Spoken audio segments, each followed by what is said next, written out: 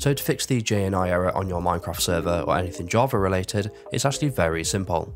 So the reason why we get this error is because the Java version installed to our computer is no longer compatible with the Minecraft server.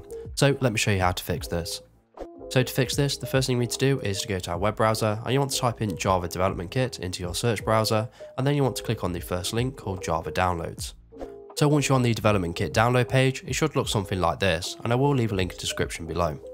From here, you want to scroll down slightly to the download options and you want to select which version of Java you want.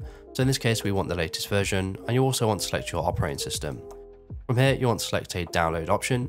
In this case, we're going to select the 64-bit MSI installer. So you want to select the link just to the right of it, and you want to save the installer to your computer somewhere, and in this case, I'm going to use my desktop. Once you've got the development kit installer downloaded, you just need to go ahead and open it, and you may need admin permissions, and then you just want to go ahead and run it just as you normally would.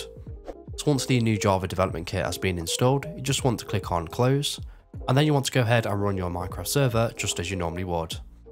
And that's it. So if you have any questions or comments, leave them below and I'll reply to you as soon as I can.